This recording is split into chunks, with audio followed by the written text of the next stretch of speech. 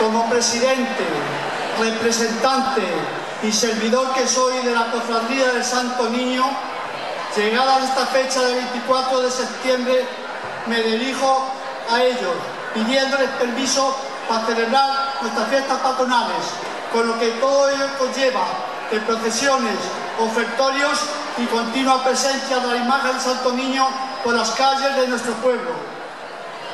Bienvenido sea, señor presidente de la Cofradía del Santo Niño Cristóbal. Agradecemos y, tomamos con mucha ilusión esa... Perdón. Su petición es aceptada y confirmada con gran ilusión y alegría por todas las personas que conformamos la Corporación Municipal.